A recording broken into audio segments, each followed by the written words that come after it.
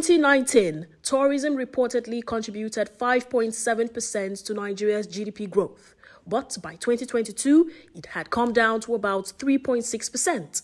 The drop is primarily attributed to the COVID 19 pandemic and the ripple effect.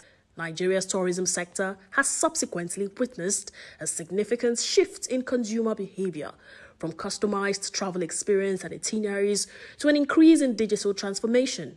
Lecturers at this three day training for stakeholders in the tourism industry say that factors such as customer trust, service branding, emotional intelligence, and improved technology have therefore become critical to meeting the changing demands of the industry. You will so frustrate, be so frustrated that you will have to see the manager. Meanwhile, he has employed someone who is half baked to do that same work. So, our problem is actually in trying to manage what we want to pay our staff to do big jobs for us. Customers should be seen as babies. You know how mothers handle their their uh, seven months old babies and so on. They should be they should be treated like babies. They want to be pampered. That is it.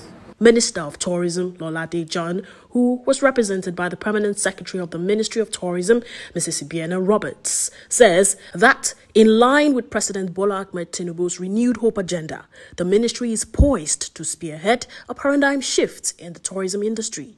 The participants were therefore urged to make the best of the capacity building opportunity.